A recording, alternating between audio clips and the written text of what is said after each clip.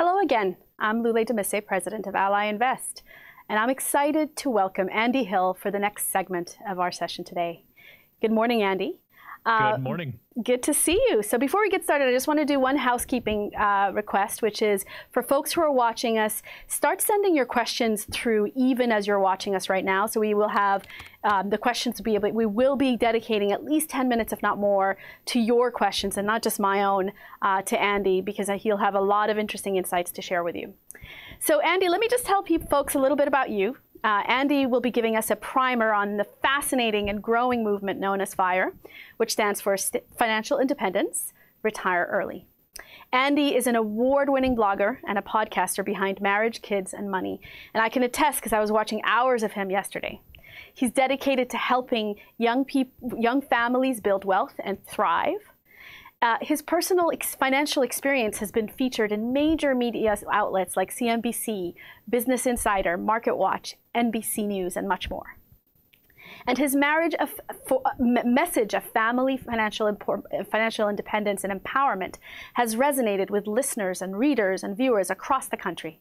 We are so pleased to have you, Andy. When Andy's not talking money, he enjoys wrestling with his kids, singing karaoke with his wife, and watching Marvel Marvel movies. Go Captain Marvel! Uh, I can attest to that for my kids as well, Andy. Um, so thanks so much again for joining us today. Um, and so let's get started first about you telling us what is fire uh, for the layperson who doesn't, who is not part of this movement. Yeah, Lule, thank you so much for having me. I, I appreciate uh, being here today. So, as you said, yeah, FIRE uh, the FIRE movement stands for Financial Independence Retire Early. So there's really two parts, and sometimes there's a slash between the the two letters uh, for that very reason. Because the first part is financial independence, and that essentially means when you no longer have to work for money, or you have enough passive income that covers your annual living expenses. And then the second side of that is the retire early side, and that essentially means you can stop working in the traditional sense. You can quit your job and do more of uh, what you want to do. So that's that's what fire is is about.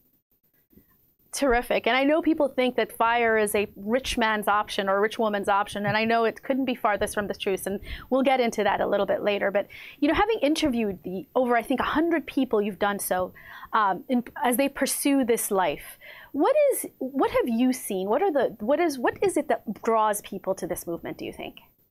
Yeah, I think it's the aspect of the independence part, the freedom part. I think everybody can resonate with wanting more time in their lives. I think that really can resonate with really anybody. Yeah. Yeah. So, as somebody's working at a traditional job and maybe they're working 60 to 80 hours a week and they've been at it for a while. Uh, maybe they're just not feeling like they have enough time to do the things that they really want to do. So the commute is maybe getting to them, the yeah. hours, dealing with bosses or management that you don't see eye to eye with. And so a, a lot of folks get to the movement at that point where they're saying, well, what are my options? How do I retire early? How do I leave? Traditional work and and some people just want to have more time with their family or time with their kids to to you know to raise them and and create those memories. So there's lots of varying reasons, but those are the reasons that I've found from the folks that I've interviewed. Got it. So I saw one of your po- podcast uh, interviews with Michael Lacey, I believe his name is, and mm-hmm. he said something about you know he said something that really struck me that I thought was really wise. He said he and his wife um, looked at their financial sort of combined financial picture, and they had this great material life. But that when they actually pulled back the curtain, what they saw was a combined picture of debt, not assets. Tell us a little bit about that experience and that aha moment a lot of folks feel before they start tinkering and embracing fire. Yeah, for for Michael's story, which was very interesting, they got married and they were both doing really well. I think, as he r- recounted to me, was, they were making maybe like one hundred twenty thousand dollars a year, and they were living for today. They were having a lot of fun. They were traveling. They were buying the things that they wanted to buy, getting expensive cars, and that's just sort of the stuff that um, they thought they should do. And then as they started their marriage and went on their honeymoon, they kind of had some realizations that maybe they're spending a little bit more than they actually have and the credit card debt is piling up a little bit more than that it should be. And at that point they sort of had that realization of maybe we're living a life that we shouldn't be living. Maybe we're living a life that we're told to be living. And at that point, they decided, what can we do to erase debt from our lives in order to have the future and the time freedom that we would like in the future. And that's that's really where their story started. Yeah. And you know what's fascinating is you know another perspective that i've you know heard a lot from folks who are members of the fire movement is that you know it's not just about retiring early. It's about for instance if you do decide to stay in a job or do something working whether it's for yourself or other people that moving towards this lifestyle gives you a mental freedom that allows you to perform at your peak, which I thought was so compelling. Who does not want to, you know, whether we think we can afford to retire or not, who does not want to perform at their peak in whatever they do? Um, tell us a little bit about in your life where examples of where you found that you're performing at your peak now that you've pursued this.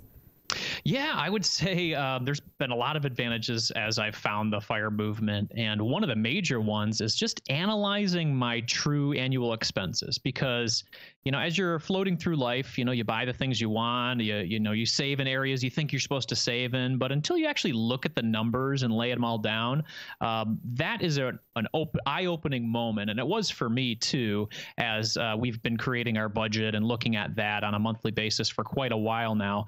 Uh, recently, over the past couple of years, as I found the fire movement, um, it's allowed me to have some introspection into the things that are most important to me. And as my wife and I analyzed those numbers and looked at things, we found our happy spot to be around sixty thousand dollars a year, sixty to seventy thousand dollars per year, depending on you know what stage of life we're in and and uh, the two kids that we have and the activities they're involved in. So, uh, I'd say one of the most major advantages that we've found is just realizing that what you spend per year can have a lot of power in your life. And you know fl- being able to flex that gives you a lot of power as well. So that's been one of the most uh, eye-opening advantages so far for us. Yeah. So let's get into now that we've piqued people's interest in terms of some of the benefits of this to one's lifestyle let's get into a little bit of the anatomy of fire. So tell us a little bit about what's the what are the different levels of living within the fire within the fire construct, lean fire, et cetera, et cetera.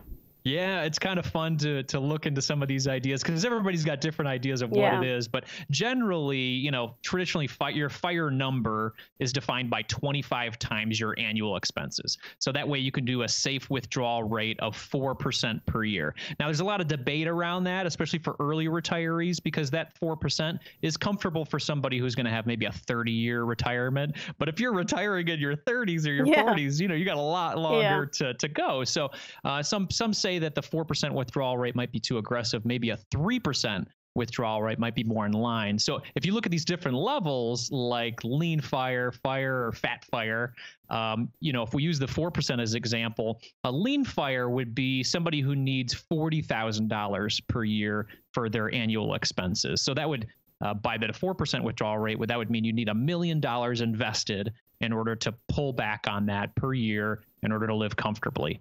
Uh, regular fire or traditional fire is around that $60,000 per year level. So that would mean you'd need $1.5 million invested. And then fat fire is like, you know, you're living large and, and you're having, having a good, fun life is $100,000 or more, depending on what that's defined for you. So 100,000 or more would be two and a half uh, million dollars invested. But if you're thinking of that 3% withdrawal rate, that would be upwards of, you know, 3.3 million. So it's a lot of savings and a lot of investing that needs to happen in order to make some of those levels happen. That's why there's a, a you know big swath of people that are interested in lean fire and then just decreasing their expenses to a level where hey, you know, we're pretty happy living in one of the most privileged countries in the world and, living at $40,000 per year. It's pretty comfortable. And it helps out a lot if you're able to reduce your expenses quite a bit. You know, outside of investments, you can pursue fire through real estate or you can pursue it through small business ownership as well. Yeah. You know, what's so interesting about this is sort of, I think part of what so many people struggle, I know in my own personal life, my own family, um, it's, helping people to understand how to have trade-offs, right? Because I think at the end of the day, everybody knows they're not going to get everything under the sun in their world, in their life, right? I, I think that we underestimate people's, you know, ability to under to be realistic. But I, I think the what, the thing that attracts me about fire is this again this idea of trade-off, which you just explained, right? Which size fits for you? Tell me a little bit about, um, in your interview experiences, what are some of the stories that have that really bring to life these examples that you just told us? Yeah, I'll, give you. I'll give you an example. Uh, Dylin Redling was a man I interviewed almost about four years ago uh, when I sort of found this fire movement and I got super interested in it. He retired at 43 years old with his wife Allison, um, and their situation was kind of unique. They had both uh, got let go from their jobs right around the same time in their, you know, early 40s, and they decided, hey, you know what? Instead of going back to our tech careers where it's been kind of hectic and you know we've been going in and out of uh, of different positions let's take a let's take a year off. Let's take a sabbatical and decide you know you know what, what our next path is. And as they were on that you know sabbatical they sort of calculated their annual expenses a little further and realized that they had saved up enough through their investments to retire already. So uh, they were a couple that sort of, you know, I would say uh, really frugal all stars because they had saved for so long. And It's just part of their nature being frugal to invest and save through retirement uh, investments as well. And they had amassed 50 times their income. So at that point, they felt very, very comfortable to live on $36,000 per year in Northern California, by the way, wow. which is which is quite difficult. Yeah, um, but, a lot of uh, free they, wine tastings, I guess. exactly. Hey, whatever, whatever they could do, right? Yeah. But they've been traveling more, uh, you know, since they've done their retirement, and they still work a little bit. Uh, you know, he's writing a book and, uh, and a blog, but a lot of it's just for, for you know, personal joy as opposed to having to work. Um, so he's one of a, a, great example on, on the sides of things that I, I saw as almost like a success story for me. Somebody who's done really well frugally, and then they just both seem very happy with the decision they've made, and they're living a great life together. Yeah, and you know what's interesting is another thing I've found is that when people start hearing about living within this movement or starting to adopt some of its best practices, um, some of the assumptions that come out is that either people are stingy with their money or they don't spend on things that make them happy. And I hmm. found that that couldn't have been farther from the truth. Tell us a little bit of examples, whether it's in your life or otherwise, that fire actually has given you the freedom to be more generous where you want to be intentional and also are spending on things that can make you actually happy. Yeah, I think that's a great point. I, and, and the whole exercise that we discussed about analyzing your expenses is a great place to start with that because sometimes we're spending money on things we don't even know about, whether it's subscriptions or or just kind of looking at some of the bigger expenses like housing and transportation and food and realizing that some small changes in your life could make a huge impact. So for example, uh, in our lives, we saw one of the largest line items in our budget was our mortgage, and we said, "Well, we love living in our house. We don't want to downsize or or change where we live or anything like that. What if we just paid off our mortgage? That would be that would eliminate one large item from our from our budget each month, and that's something that we work together on as a as a couple, and it became a goal of ours. So looking at some areas that were like, well, this doesn't necessarily bring us joy to pay this mortgage. So why don't we get rid of it? But on the flip side, we love our cleaning lady. So we want to keep that in our budget, right? It. That makes us yeah. both happy, right? And and also other things uh, like uh, having our kids in summer camps or teaching my daughter how to play soccer and sign her up for those types of things. Those are the things that bring me joy. And actually, through this whole process, uh, it's allowed us to give more uh, in our in our in our charitable giving. Back in 2017, we were giving maybe 1% to of, of our of our annual exp, of our income. And uh, through uh, just some introspection and looking at our budget and kind of deciding what's important in life we said let's let's see if we can ladder that up. So over the past couple of years 2018 we decided to give 3% and then in 2019 we gave 5% so we've been able to grow and sort of look at the things that are most important to us in our budget while still pursuing a life of financial independence yeah. Do you think you have to be financially savvy to start this process? In other words, like is is is this harder for people who just don't find any of the numbers game interesting? Um, and is it almost prohibitive, if you will? I think if you start out trying to figure out your safe withdrawal rate and how quickly you can do it and yeah. all these very difficult things, then yes, I think that can be very overwhelming. But if I think if you look at things in a small baby step kind of format, like saying, hey, start with tomorrow just building your budget and deciding how much you feel comfortable spending each year. And then the next week, figure out how you can reduce expenses that don't actually kill your joy as we're talking about here right yeah. what other ways and then the, the week after that look at ways to increase your income so if you just look at it in steps over time then maybe it's not so overwhelming but yeah if you look at well i want to retire in five years and i got to give up everything in order to do it then yeah you might get overwhelmed and it might seem impossible and it might cause some strife in your life as well yeah Tell us a little bit about how you factor family into this process, right? Because one person can feel really passionate about pursuing this, and the other spouse can feel it, that it's it's not for them or it's constraining. Get, can you give us a little bit of the story? First, your personal journey as a mm-hmm. family, mm-hmm. but also people who've had to resolve that difference, if you will. Yeah, I'm happy to share our, our side of things. So I found the fire movement at a time where I was really dissatisfied with my work you know, and uh, was one of those things where I had been working in a career for 15 years and I, I was either bored or frustrated or something, but I had just been doing it for too long. I've been traveling too long. And it just was one of those things where it's like i don't want to do this anymore. I, I, there's been management changes and i just don't want to deal with this anymore. So hearing the the message of the fire movement got me excited. Oh there's my way out right? There's my way to to move things forward. Um, but through some you know uh, some some investigation and starting to talk about that with my wife we learned that there are some areas that we are happy to give up on, and then there's some areas we are not happy to give up on. Yeah. You know, so for example, as we were looking over our expenses, you know, grocery shopping became one of those things where it's like, hey, if we move from Kroger to Aldi, we can save about $3,600 a year, and that'll help us to get closer to this goal. You know, in the beginning, that became sort of a, well, do we really want to do this? But as we checked it out, it wasn't that bad. And, and she agreed. You know, cutting cable was something we agreed on. But then when it came to the cleaning lady or home decor or things like that, those were sort of the stopping points for my wife.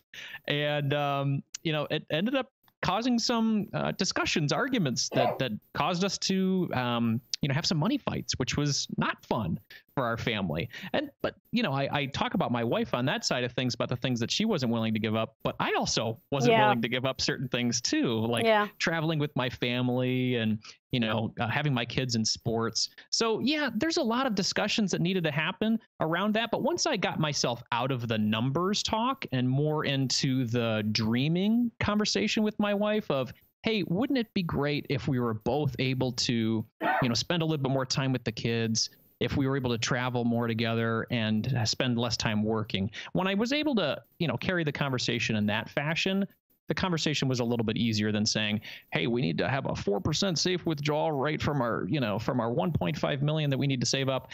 It's it's a little bit more robotic and less human, as as my friend Michael Lacey said, um, to um, to have those types of conversations. So yeah, it can cause some strife, but if you're able to approach the conversation in a way that is beneficial to both parties, I think that it's a little easier to have. Yeah, I love that talking more dream and less just numbers um, it's interesting, you know, because I feel like part of the process of getting open and courageous about money um, and between couples and families, I think actually is one of the more healing things we do for our families.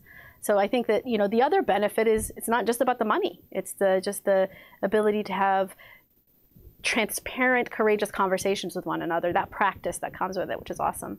So tell us a little bit about, so before we go on, actually, I just want to do another housekeeping announcement, which is folks, put in your questions now uh, because we will be shifting to your questions and not just mine um, as we get through this. Um, tell me a little bit about how there are moments and practices within your life, at least, as you adopted fire that you felt okay this piece does not work for me. And can you tell us why it didn't work for you? Or your family yeah. or your wife for that matter? Absolutely. So one big piece of the puzzle for us was well if we're going to do this financial independence thing we're going to need to save up a, quite a bit of money to either invest in the stock market or buy real estate. And for us real estate sounded like the best route for us uh, as we're a little bit older and our time for compound interest in the market would take quite a bit longer. So we said, well, let's just save up a bunch of money and buy some real estate. So my wife and I started looking at properties and in the Detroit metropolitan area, there's uh, reasonable uh, homes that you can buy and rent out. So we started looking at homes together, and my version of a you know a, a, good starter rental property was very different from her version of a starter rental property and we started to go into it and realize that both of us whether whether we like the version or not didn't really want to jump in and become landlords. And in order to become landlords, we're essentially adding on another job or another responsibility that might actually cause us less time with our family and more time managing a new job. So for us, this was sort of a a journey for us to look into well, how can we retire early and how can we find this financial independence and real estate became the idea but then as we investigated it it really wasn't something that we both wanted to do. So we've abandoned that as as, as an yeah. idea for our for our financial independence plan, and we're both really happy about the finality of us saying we're not going to be real estate investors, and we're okay with that. Yeah, that, that that's terrific because I do think part of it is like if you don't open your mind to tinkering with this, then you feel like, okay, I failed in this one thing, so the whole thing didn't work for me. So I think it's, I thank you for sharing that with us. How about some of the best things that have happened to you based in your interests on fire? Just tell us some either transformative relationships, anything that's happened in your lifetime that's really been, if you, if you had to actually thread it to, it's because you started this journey. Yeah, I would say uh, some of the best things that have happened to us through this process is we've eliminated spending on things that don't bring us joy. And uh, from for for some of those things, there's this there's a movement right now outside of the fire movement. It's just a, a movement for minimalism as well, and yeah. and having less waste yeah. and uh, just general consumerism. And we're looking at that as a way for us to reduce stress in our lives, you know, and that's been able to allow us to have some conversations with our kids about what's important and what is needed in our lives. So it's helped us to bring up some great conversations with our children about do we really need all of these toys? Do we really need uh, to spend and go to every single birthday party that we're invited to, or or do we are we excited about having more relaxation time? And so it's it's it's caused us to think not only about our spending, but also about how we allocate our time and how we allocate the stuff in our lives. And that is definitely something that both my minimalist wife and I both see eye to eye on. So it's been one of those things where we come together and say, this has been great. But outside of that, I mean, I've connected with some amazing human beings uh, who are pursuing fire. And I've learned so much from them about finding happiness, you know, and everybody's different version of happiness. And with that, uh, it takes a lot of introspection to figure that out. And some of those conversations, as you mentioned, Lule, is you know having those open to, having dialogue with your spouse about what their true happiness is and yeah. once we find that middle ground together i think that's a, a recipe for a great marriage yeah yeah so speaking of kids I mean, the fact that you've cracked any code on buy that, buy that, I want that is is going to be something people want more to hear about. So how did you bring the, the kids into this process? And and what's that been like? Yeah, yeah. So uh, I, I've I'm kind of a money nerd, so I've had a lot of discussions with my with my daughter uh, ever since she was a young girl, and a big part of our discussion at home is through contributions. So uh, every Saturday morning, our kids get up and they have a set of chores that they need to do. And the reason we do this is one because we'd like a little help around the house, and then two is to show them that with hard work uh, nets you a reward. So and uh, by doing that, we're going to be paying our our kids a dollar for every year they are old. You know, so so my daughter's eight and she gets eight bucks. My my son's five, he gets five bucks. And with that, those uh, those dollars start to become conversations about what's important in life. So they have a spend jar, a save jar, a give jar, a college jar, and an invest jar. So with all of those jars becomes great conversations for us to talk about uh, personal finance, how it's important to understand where your money's going and how you are utilizing it. Instead of it all being for spending, you know, we want to have conversations about the importance of saving and investing at an early age so that those conversations and ideas can be something that they've lived through throughout their childhood and they're moving forward in, in, in their adult life. And with that, you know, we have some conversations about smart spending too. So, you know, whatever's in the jar, you can't just go off and spend all the time. uh, we limit their purchases to about one, you know, larger purchase per month. So that way they're going to the store, buying the one thing that they're really happy about, and getting some use out of it. And if they want to have some more toys and more things to play with, then yeah, there's a lot of toys in our house already that are hiding in these bins that we've, uh, you know, we've put out there. So try to be creative, try to get outside, try to do things outside of of consuming because we don't want to train them to always want more and be dissatisfied with the $10 toy they just bought and throw it to the side. So we've had a lot of conversations with them about that, but it, it just starts with, you know, starting early and, and starting those conversations as soon as possible. Well, first of all, I think you should actually turn those jars into an infographic and post them somewhere because I know I'd be printing it out and showing it to my wife as to how we should be by helping them bifurcate their uh, their money. Um, tell us a little bit about you know like being a child, peer pressure is that much more stronger, right? How do you coach them if they have? I mean, because the, the lifestyle you're pursuing is not necessarily you know the, the, the common path, if you will. So, yeah. like, how do you help them navigate peer pressure around this consumerism? That's a great. That's a great point. We live in a really well-to-do community as well. So we uh, sometimes Nicole and I feel like outsiders. Sometimes lots of doctors and lawyers where we live, and you know, between me being a, a blogger and her being a secretary, sometimes we feel like uh, sometimes we feel like outsiders. Um, but you know, some of those conversations are starting to happen a little bit more now with my with my eight-year-old daughter, where she comes home and you know somebody has this thing or somebody's house looks like this, and we try to encourage her that being different is great being different is cool and uh, we don't want to be like everybody else we want to be individuals and sometimes that's different difficult to explain to kids but over time we're hoping that she understands that her differences whether it's the way she looks whether it's the way she dresses or her viewpoints being different are actually what makes her unique. And so we want to encourage being unique. We want to encourage being different because that allows us to you know help her to understand that not everybody's the same and uh, allows her to be tolerant of other folks that are yeah. not the same and accepting of folks that aren't the same. So I think it's a broader conversation that uh, we're starting to have right now and, and having a lot of fun with. That's amazing. That's wonderful. As the French say, I guess, vive la différence, right? That's right. Um, tell us now a little bit about where you are in your fire journey, if you don't mind giving that level of transparency to our uh, viewers in terms of where you are and what, what's left in your journey for fire. Yeah, so a couple of years ago, you know, in order to reduce our expenses, we were able to pay off our mortgage. That's been something that has uh, changed our lives. I mean, it's uh, we had a lot of extra money to use at that point, and and at that point, we decided, well, let's save up and buy that rental property so we can pursue fire. And then recently, we decided, well, let's not do that anymore. Let's have you finally transition out of the career that doesn't bring you joy and just use that money we've saved up for rental properties as your runway. So that that's been what I've been doing over the past couple of months. In January, I made a transition outside of my full-time career that I'd been working in for 15 plus years to pursue my side hustle full time as a uh, a podcaster, podcast producer, um, and it's been fantastic. I have found a schedule over the past couple of months of learning to be an entrepreneur that both my wife and I love. We're both working maybe 30 hours on average per week. I'm allowed to, um, you know, drop my kids off at the bus in the morning, pick them up after school. My wife does the same. We sort of have this great partnership where she's got two days to get them, I got two days to get them, and we both have a little free time when we're not getting them.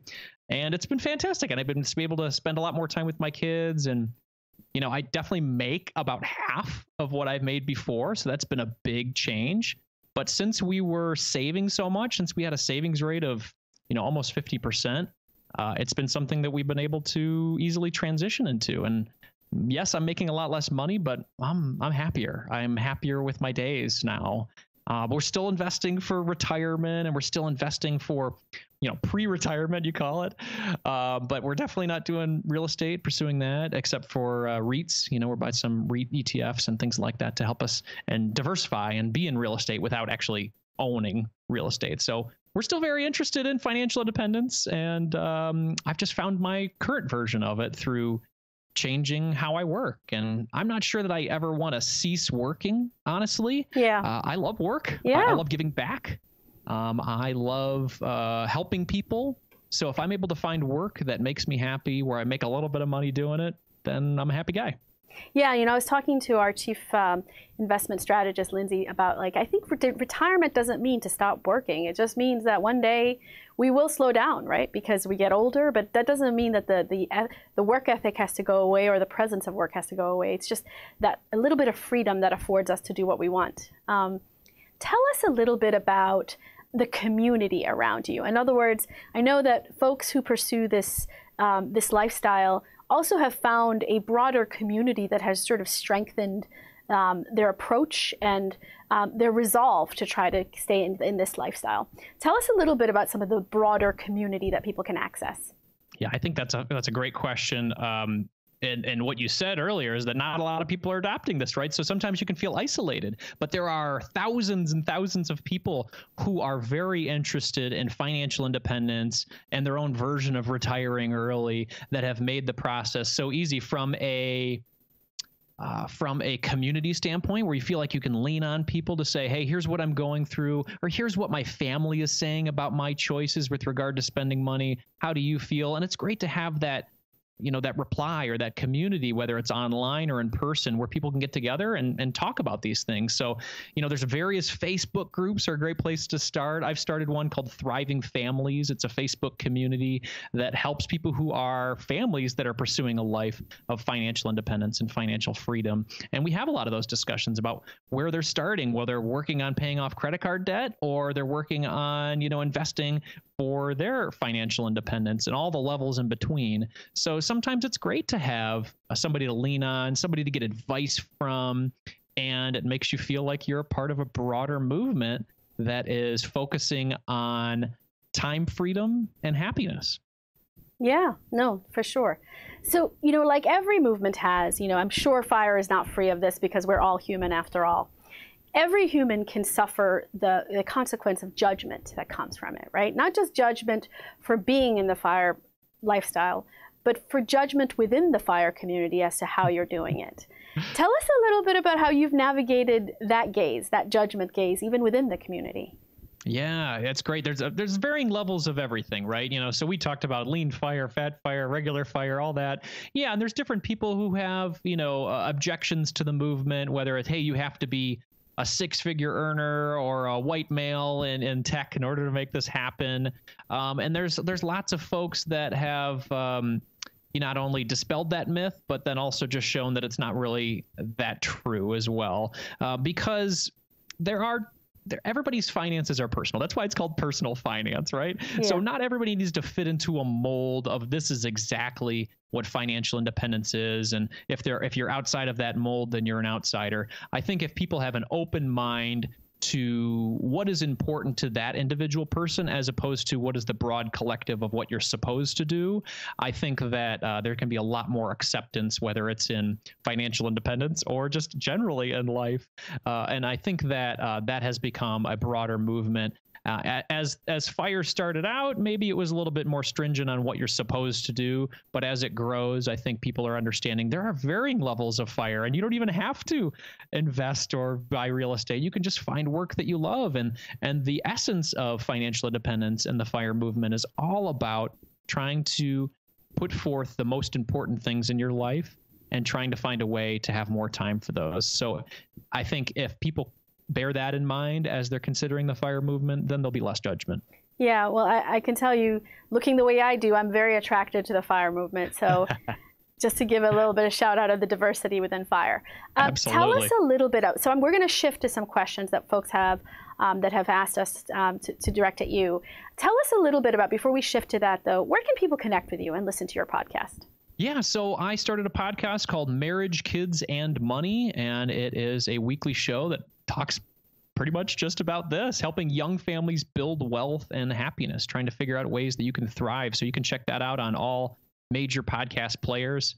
Uh, my website is marriagekidsandmoney.com, a great place to connect. Thank you. Oh, our pleasure. Um, it was it was fun having this conversation with you. Thank you for joining us. Absolutely. So, the first question comes from Greg M. So, Greg asks, "How do you handle health insurance with high costs when not employ when it's not employer sponsored? That's a great question. It's something I just went through recently, Greg, um, because I left my traditional employment where I had incredible benefits. And that was something that I was like, oh man, can I really leave this? I'm getting great pay and great benefits. But uh, what I realized is that I could go on the exchange and find a great plan that was exactly the same as what I was, you know, having at my last job. But for full transparency, I had such great benefits at my last job. I was paying nothing in monthly premiums, but now I am paying $1,200 per month in monthly premiums to have that same coverage. So shout out to my company, my former company that really supported me uh, and helped my family, you know, be protected. But yes, there is a cost to it, um, but getting it is pretty simple. It took me a couple hours online at healthcare.gov to get a great coverage. Uh, there's some other people who do health health share ministries, um, or you know, if you've got a, a spouse that has the opportunity to get benefits too, that's a that's another way to go. So there's lots of different ways to do it. Yes, there's a cost to it, um, and it's something you need to factor into your early retirement plan or your financial independence plan if you want to move out of traditional retirement. But it's definitely doable. It uh, it didn't take that long, but yes, there's a cost to it. Great. So I'm going to butcher this gentleman's name, but it's Winston Voorhees Townsend III. Oh, I like it. I know, it's quite a presence. So the question is what are your experiences with people who fired up by moving to lower cost living countries like Mexico? And I've heard of Costa Rica as another example. Yeah, I've got a friend uh, named Jim White who uh, decided to move to Panama uh, for part of his early retirement plans. And that is something that he worked on very hard uh, for a long time to save up enough money he had visited there, found that they loved the country, and they've been there for, I believe, almost six to nine months now. Uh, they seem very happy with the change. Uh, they've enrolled their child into schools there, and they're able to provide them a different culture, uh, cultural exposure that they never would have gotten in the United States. So, whether this ends up being a couple year thing for them or a 25 year thing for them, I think either way, it's going to be an experience that the family will never forget and it's also something that they can experience together. Yeah, you know, one of the things, and as we're waiting for more questions, I just one of the things I love about folks who are in the fire movement is there there's a kind of like a happy warrior element to them. Yes. You know, it it doesn't feel like it's just like the system sucks and therefore it feels like it's sort of like okay, this is what the system is. How could I design it in a way that works for me? Which I think is so it's such an empowering uh, way of looking at life. So I really, I, I love that. So Aaron Laughlin asks you this. Can you comment on strategies for pursuing fire with kids? Like, for instance, mm-hmm. how should you save for college in a 529 or other sources of saving? Yeah, that's a great question. I have, uh, I can answer from my perspective. I've prioritized starting 529 savings for my chi- uh, children, both when they were born, just because I knew the power of compound interest. You got to start early and you have to start and keep consistently uh, each month uh, contributing. So 529 savings has been important. Uh, traditional retirement savings was also important for me too, making sure that I had a cushion to make sure that I'm able to retire, retire before pre retirement. It's almost like I want to make sure that I'm able to regular retire when I really need to stop working before I think about, you know, this sort of pre retirement. So, uh, I, if I were to prioritize things, which I have done in my journey, it's it's being able to retire uh, at a regular age of 60 plus, and then being able to allow my kids to you know go to college without the burdens of student loans even so we are not going to be able to save enough for our kids through our 529 for them to go student debt free by the time 2030 and 2032 rolls around. So we've had a lot of discussions with them about the importance of contributing through work in high school as well as college. And we are very inspired by some of the folks that I've been able to speak to about how they were able to grab some great scholarships for their kids by doing things like Scholarship Sunday, where they sit down every Sunday and their kids have to fill out at least one or two scholarship applications during their junior and senior year in order to take a huge bite out of their potential student uh, student debt that they would have had. So I think it's just being intentional and looking at different ways to slice up the pie and figuring out how you can you know attack a lot of these uh, these goals you have. Yeah, and also, frankly, not thinking that there's only one normal, right? It's yes. okay for you to sort of design a different one. So while we're waiting for the next question, um, I wanted to ask you a little bit about um, investing. And Yeah. so, you know, one of the things you said was investing in real estate, that turned into sort of, okay, not for us per se, not from a landlord perspective, but then you came back to the market to some extent, right?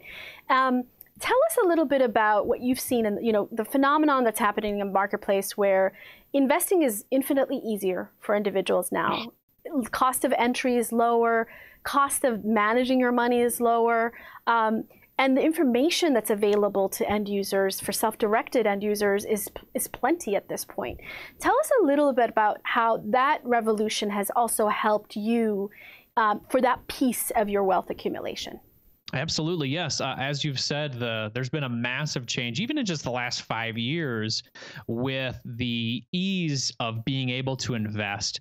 You know, through platforms like Ally Invest, that just makes it very simple for people to jump in the game right? And so uh, you know as as there's also been like a fee war that's been going on as well that's been great for the consumers that make it uh, not only easy to invest but also extremely inexpensive. So you can jump in and become an investor for little to nothing um, whether it's uh, you know the expense ratios that are super low or the trading fees that are zero or or you know very minimal that allow you to come in and uh, you know what you couldn't do decades ago and become an investor easily from your cell phone or from your laptop. So I love the changes that have been happening, and the transparency around the fees has been a great uh, shift in the financial services industry as well. And I think it's a, a great way to know that, hey, if you're paying, you never know exactly what you're going to make in the market, but you do know exactly what you're going to be paying in order to be an investor. So when those fees are as low as possible, that is a great, great, uh, you know, great news for you. Obviously, the,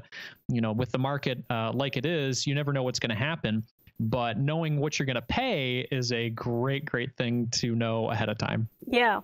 I've always said the market is one place where you want to do long-term investing because, uh, as you can see, what's happening here, um, when you're not long-term oriented, it can spook a lot of people. Yeah. so you got absolutely. a question now from classic mini mini DIY. I love that. uh, what are some of the tips uh, for finding a financial advisor? Some of the good Oh. questions they should ask when they find a financial advisor. That's a great that's a great question and, something that I learned through trial and error through my journey too. I had connected with a uh, I'll call him an investment broker really uh, through my journey and I didn't ask enough questions. Uh, I just assumed that this is a professional and they're going to take care of me. And from what I learned down the road, I should have asked a lot more questions regarding fees. You want to know how they are being paid whether it's through third party sources or through the fees that are going to be taken from your account. So, getting a clear understanding of how they're going to be paid is so important before you make a decision to move forward. A great question to ask too is if they are a fiduciary, somebody that is legally and ethically bound to work on your behalf, to work on your best interest and not theirs. That is a subset of the financial advising community. And it's a good question to ask to make sure that you aren't just being sold products that work well for them, but you are being uh, directed in a way that most benefits your financial journey and making sure that they understand your ins and outs of your financial journey and the path that you're on. And if you're interested in financial independence, and making sure that they feel comfortable with those types of questions. I've had a lot of luck with uh, XY Planning Network. Uh, there are a group of uh, you know fee-only financial advi- advisors, uh, uh, CFPs, that uh, are really out there to help people win. Yeah. No, those are some savvy questions. Tell us, um, so the, the Richard W asks you, what is your approx, and uh, you can feel, feel free to pass if you want, but Sure. uh, what is your approximate monthly budget? It's been shifting a lot lately because of our new entrepreneurial journey, but really on average, we're spending maybe sixty to seventy thousand dollars per year. So you know we're in that let's call it like six thousand dollar a month kind of uh, you know uh, annual expense or monthly expenses. So with that, you know that's without a mortgage too. So we've been able to you know, uh, recently over the past couple of years, increase our spending on things that we love, like traveling, giving more, you know, kids' activities, going on date nights with my wife, and then reducing the expenses that don't bring us a lot of joy, like paying off our mortgage, getting rid of that, you know, uh, reducing, uh, saving enough where we can go into high deductible insurance plans, you know, reducing our spending on groceries. So it's sort of balance of looking at the things that made us really happy and say, how do we spend more on that? And then looking at the things in our budget that didn't make us that happy and say, how do we spend less on those things? So that's kind of where we are right now. Great advice. Great advice. So we have time for one more question, and this one comes from Julie Hale, and she asks, "What can you do to beef up your retirement income after you've moved into retirement phase?" Mm. Well, if we're talking about traditional retirement, I guess it's really both versions. Um, there is nothing wrong with doing a little bit of work of things that you love, right? So let's say you've moved into traditional retirement or early retirement for that matter. There is no police saying you can't work, you can't do things that you still love. So are there things, are there hobbies or things that you can easily monetize that make you happy where you can work, you know, 10 to 20 hours a week where it's not overwhelming you? So spending a little bit of time uh, thinking about well, what what is what is work that I would do for free that makes me really happy, that makes me feel like I'm giving back, and then figuring out a way. Hey, does that work? Does that hobby, does that passion, does it have an opportunity to to be monetized? Whether it's through consulting work or writing or just a side hustle that just makes you happy. So I guess looking at ways that you can add a little bit of work into your retired life um, can make a big difference and it can also help you maybe hit your retirement goals a little earlier. Great advice. Thank you. It's been such a pleasure speaking to you, Andy. Uh, and thank you so much for sharing your insights and your lived experiences with folks. Um, I'm so happy to be here. Thank you, Lule. Take care. Take care.